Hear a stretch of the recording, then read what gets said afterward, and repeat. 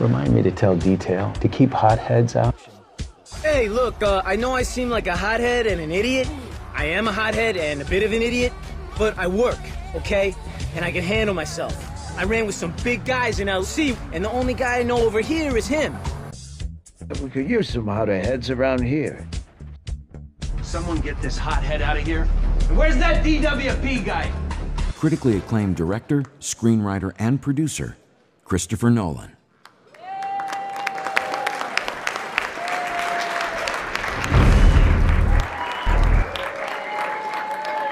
Thank you.